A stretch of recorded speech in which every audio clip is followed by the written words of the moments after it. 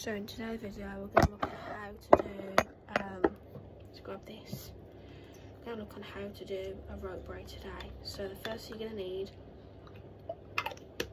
is you're going to need two rat tail combs,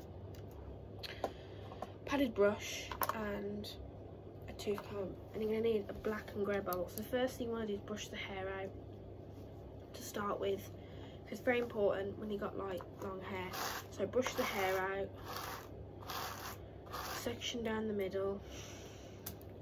So you're going to take the right twist, do about two to right twist over the left twist, right twist over the left twist, right twist over the left twist. You're doing at least two to three twists. So right twist over the left twist, right twist over the left twist, right twist over the left twist, right twist over the left. And make sure you do the, the rope braid make sure you do at least two three twists and make sure you do it tight. So you braid that all the way down and to and out of hair.